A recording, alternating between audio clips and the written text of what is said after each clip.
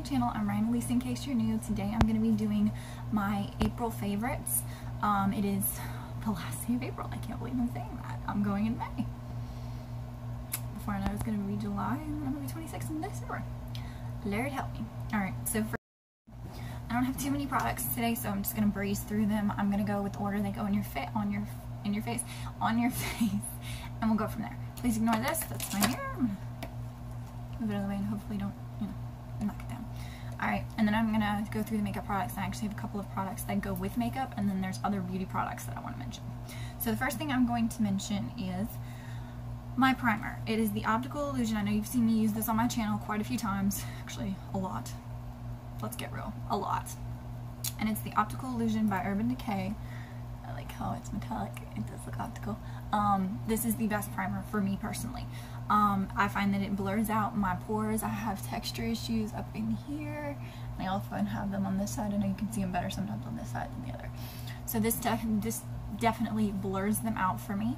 Um, it smooths out my entire face. I like the consistency of it. It's not quite silicone, but it's not like a moisturizer. It does feel like a filler. I like the finish it gives me when my makeup is on top of it on my face. It just smooths it out and looks really pretty. Next thing I'm going to talk about is a setting powder. It's the Laura Mercier Translucent, translucent, uh, setting powder translucent, yes. So this, um, a lot of people swear by this. A lot of people have tried this and don't like it. I know there's mixed reviews. I know it's really good for oily people, which I am an oily monster. So that's something, please ignore my jeans and my. So, um, I know a lot of people have mixed reviews about this. Personally, I like it. I use it to bake, and I also use it to set my face, and I find that it gets a nice, kind of like um, a flawless finish without too much, and honestly, if I just want to put on some concealer and set it, this helps it look so smooth, like you can't even tell I got anything else on, so that's nice. Next thing I'm going to go with is my eyeshadow palette. I know y'all see this coming. I've been obsessed with this since I got it. Like, it has been used and abused. It's the Violet Voss times Laura Lee. I don't know if y'all checked it out on the retailer that I sent y'all. I know I put it also off of um, Wish. And my sister actually ordered it from Wish and she loves it. So uh, from what I found out, Wish has pretty good quality. But I love this. It's a perfect everyday palette. I'm actually wearing these on my eyes right now. Nothing too fancy. Like I just threw on a little bit of Press Pot, Mama Bird, Whiskers, Alabama, and then of course I put the Laura Lee color on my lid, and I really like that. Best palette, best buy I've had in a while. I love the color range. It's got everything you could ever need. Love, love, love, love, love, love, love this. Love it. It's by Milani, which I have actually used Milani Baked Blush before, but the color is entirely different than my usual. I used to use Luminoso all the time. This is Dolce Pink. I've worn this, uh, I've been wearing this non-stop. Let me swatch it for you. It is just this pretty, it looks iridescent and like peach, but check this out. On my face, see it looks kind of peach on me, but on my face I find it looks pink. Like you can see my contour right here and my highlight obviously here is what I want you to see, but this is the blush and it's just a pretty wash of pink without being too I don't know, intense, maybe would be the word I would use. I love Luminoso too, don't get me wrong, I haven't broken down on my tried and true, but this is a new one to my collection, and girl, go get it. If you haven't tried Dolce Pink, it's so pretty. I think it, I think it would really complement a lot of skin tones. So there's that. Next two products I am going to mention is Tarteist Pro Glow To Go palette. I want to get the full one because I like the mini one so much all the time and you, you, you can barely see I've made a dent. Like, I haven't even made a dent the only place I've made a dent is probably here and I use them all about the same. So it's the Pro Glow To Go palette by Tarte and it's the Tarteist Pro Glow To Go palette. I love these. They smell, they smell like cocoa I think. I can't place it, but I love this. This is my perfect contour color. Like, let me, I know y'all seen me use this on my channel a bunch, so. See? pigmentation right there. The highlights are really pretty. I like how creamy they are. Personally, I like, see there's that one, and then there's this one. I personally like the consistency better for Gleam as opposed to this one because it's a little too yellow for me, but it's actually really pretty if you mix it with a couple. But so, who didn't see this coming? Anybody that uses this palette is probably in love. Like, Really? Need I say more? It is the, of course, Anastasia and Nicole Guerriero Glow Kit. I love Nicole Guerriero. I love Anastasia's products. They couldn't have done better than this for a highlighting kit. It is amazing. Like. And I just, oh, my baby. My baby. I love it. Absolutely love it. So yeah, y'all saw that coming though. If you watch my channel, you saw that coming. Next, I've got two brushes. I've got two products. No, I've got two products and I've actually got a, two brushes and hair products to check out. So we'll see. Um, I do have some lashes. I don't have them on right now. They're kind of dirty. I need to wash them. It is the Kiss Shies. They are so cute, so fluffy, so just pretty and feminine. They're not va va voom, but they're not like, they're not subdued by any means. And they just float like air. They're beautiful. Okay, so the last two products I have to name are actually from Milani, both of them. Um, I've been on a Milani kick this month. Hmm, go figure. So it's the Amore Matte Lip Creme by Milani. And this color is actually called Fling. It's what I have on my lips right now of the formula. Let me find a spot that I can swatch. Um, it's a pretty kind of, it's not pink. It's more of a um, fuchsia, kind of. Yeah, I'm gonna say fuchsia. Kind of matches my blanket back there. So yeah, um, it's definitely a fuchsia. I like how dry, um, how dry, how matte it dries, and how undrying it is on the lips. I'm planning to go get at least three more colors of these as soon as I can. Um, I want to try a couple of darker colors and see how they apply, but I actually found this one on a fluke, and I love it. It is perfect. Also to find it not too hard to get off. I can take um, a little bit of regular soap or my face wash if I want to and just, and it's gone but it stays on for a long time. I put this on actually three hours ago, three or four hours ago. I just got back from a baby shower. So it's still there and I haven't reapplied. So yeah, phenomenal. And then the last makeup product other than the tools that I'm going to show you. I have two brushes, um, a tool, and then of course the, I keep adding more, but I keep finding them on my desk.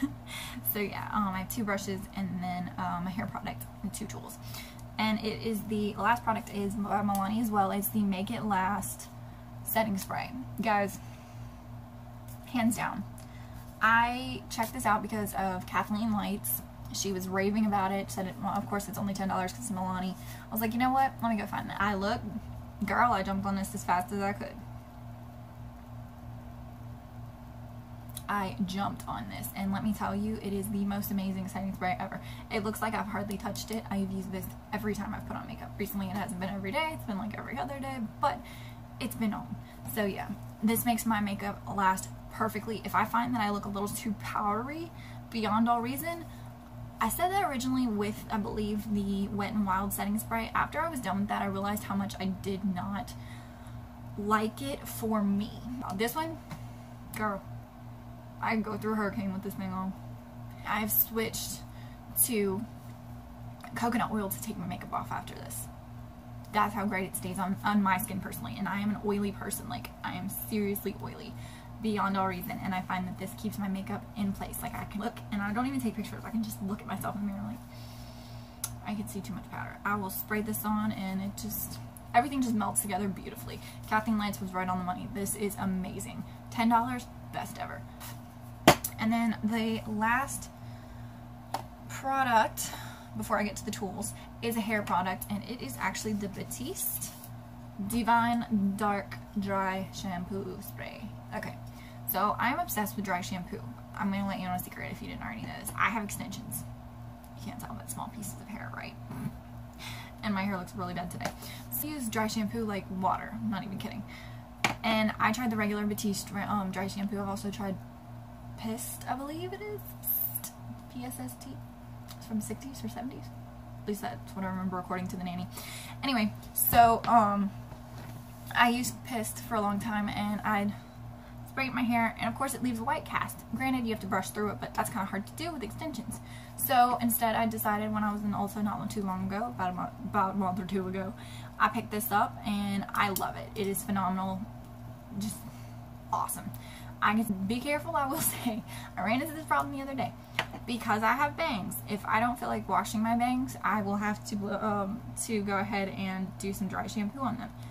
Forewarning, do this. Take a palette, put them over the top, and then spray. Because otherwise your, whoa, bangs.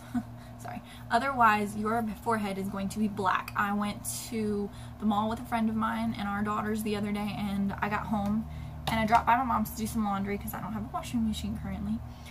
I know, I'm just telling you my story today. So yeah, um, I dropped by and I literally, like, I swiped my finger on my forehead because I was doing something with my contacts, taking them out, and I moved my bangs over.